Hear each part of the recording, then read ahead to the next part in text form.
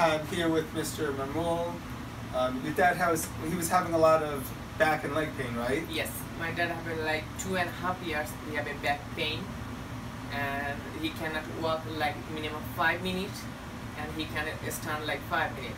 So the too much back pain. So after we worked him up, and he he just had the laser decompression last month, right? Yes, last uh, last month the So- doctor do- did this one. And how's he feeling? Now he's very good. My dad having no pain. Is absolutely very thankful, grateful to the doctors.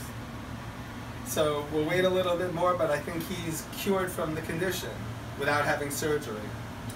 Okay, thank you so much. Thank you, sir. Thank you, sir. Yes.